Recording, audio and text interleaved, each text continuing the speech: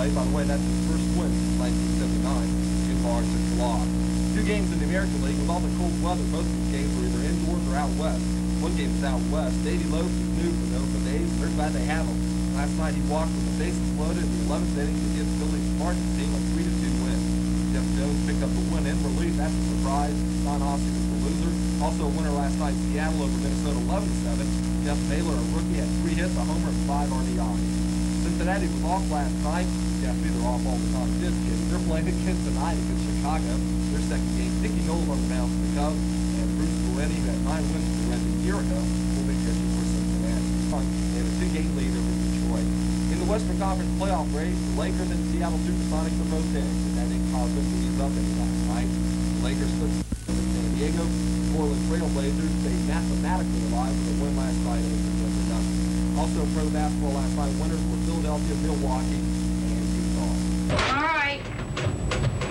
Tom, sit the camera on.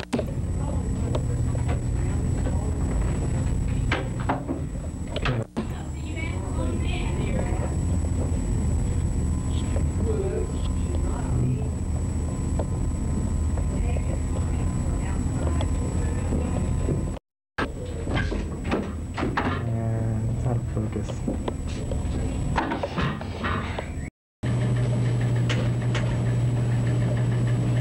Then about 15 Rangers from Marshall and others from West Virginia State will take part in the FTX. There was still a chance of losing. and ends rather than disease-oriented. Don't that look good? These oriented. So it's supposed to be a fun health fair. All things started back in February when a man in Belgium died after eating some salmon canned in Alaska. As it turns out, he died of botulism. Now, eight Alaskan canneries are in the process of recalling some 50 million seven and three-quarter ounce cans of salmon because of canning defects which apparently allow botulism toxins to grow. The best bet is if you have some canned salmon at home in seven and three-quarter ounce cans, check with your grocery